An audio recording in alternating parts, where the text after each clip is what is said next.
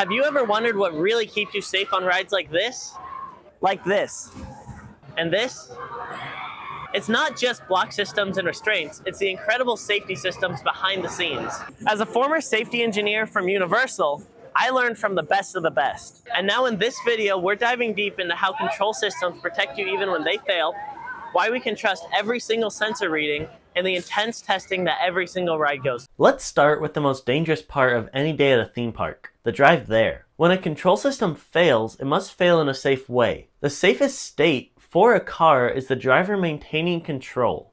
So every processor in a car is actually three separate processors. All three compute the same logic, but if one glitches for whatever reason and gets a different result, the computer can still use the result from the two that agree. This high redundancy system means that the driver will stay in control of the vehicle even when there's a hardware failure. But roller coasters don't have the same safe state as a car. The safest state for a roller coaster is to slam the brakes and bring the ride to a stop.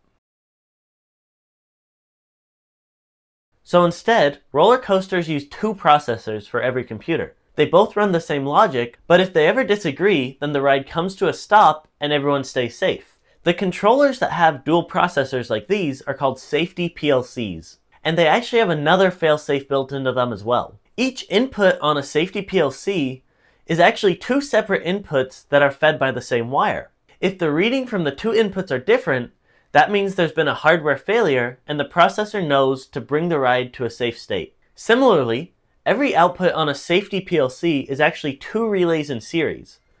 That means if one relay ever fails and gets stuck closed for whatever reason, the PLC can still use the second relay to open the circuit and bring the ride to a safe state. So now we know how a control system will always run the exact logic that the engineers program into it. But how do we know that the programming itself is safe? It's testing, lots and lots of testing. Let's break it down step by step. First, the engineers dive into a hazard analysis. They brainstorm every possible way that a ride can fail. Then, for every single failure case they determine, they figure out how to use a control system to make it safe. Then, they'll build all the control panels that make the ride work and program all of them with those safety features they determined. Here's where it gets interesting. If any failure case pops up during operation of the ride, the ride immediately goes into a faulted state. This means that the ride comes to a complete stop and will not start up again until the operators manually reset the fault and then restart the ride. But here's the catch. The operators cannot manually override the reset until the thing that caused it is completely fixed. There are two types of failure cases that can stop a ride, persistent faults and transient faults. Let's dive into both. A persistent fault is something that just keeps happening until it's fixed, like a position sensor failing. A position sensor tracks where the vehicle is along the track so if a sensor fails, that means the control system has no idea where the vehicle is along the track. So it shuts down the ride until it's fixed. When engineers are testing a persistent fault, they'll follow a very strict format. First, they'll make sure it's working normally. Then, they'll cause the fault. In this case, that means unplugging the position sensor. Then, they'll make sure the control system detects that the position sensor has failed and goes into a faulted state, stopping the ride. Then they will try to start the ride. The ride will not start up because it is in a faulted state. They'll try to reset the fault. Again, the fault will not be reset because the position sensor is still broken. The engineers then clear the fault. This means fixing the position sensor by plugging it back in. An important thing to note here is that the vehicle should not start moving as soon as the sensor is plugged back in. That would actually be very dangerous. Maintenance personnel may still be in the ride space and could be very seriously injured by the vehicle moving right now. They will then again try to start the ride. It still will not start because the fault has not been manually reset. The engineers will then reset the fault and then start the ride up and it will work normally. A transient fault is a quick one-time issue, like a motor spinning too fast, called an overspeed.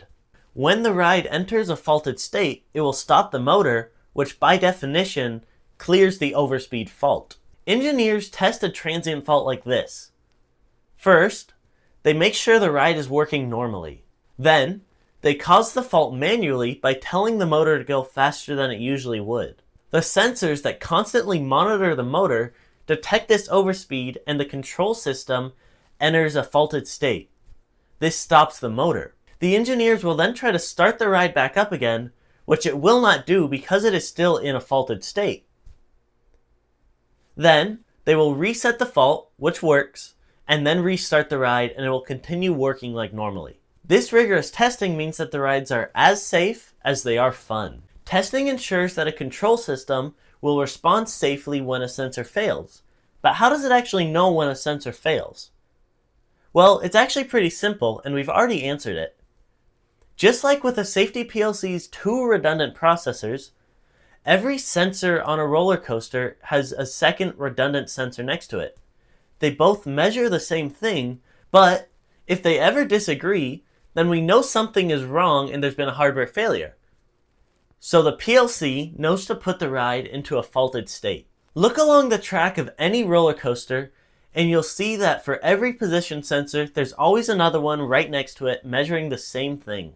But engineers go even further to make sure these sensors stay reliable. If both sensors failed at the same time in the same way, you wouldn't be able to tell that something went wrong because they wouldn't disagree. So to prevent that, every single sensor is mounted on a separate bracket. This way, if the bracket gets damaged or moved, only one sensor gets put out of place and you can still tell that something's gone wrong. These redundant layers from the sensors to the PLC to the actuators all ensure that the ride will stay safe. The final safety system that we're diving into is how the ride operators can control the ride. Roller coasters are massive. That means tons and tons of steel zooming down the track at 80 miles an hour. If that happens on accident, then we're in for some serious trouble. So engineers follow a golden rule of safety. Make it very easy to stop the ride, but a lot harder to start it.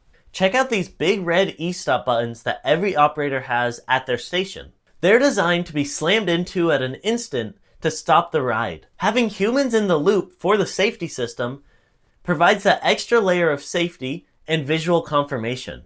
All it takes to stop the ride is just hitting one button. But starting it is a lot harder. The main operator uses two hands to press two different buttons, while every other operator in the station has to hold down a confirm button saying that the vehicle is safe to go. If any one of them lets go, the ride doesn't start and the riders are safe. From fail-safe control systems to rigorous testing, reliable sensors, and strict operator control, roller coasters are built on layers and layers of safety that keep you screaming with joy and not worry. Did you like this deep dive into roller coaster safety?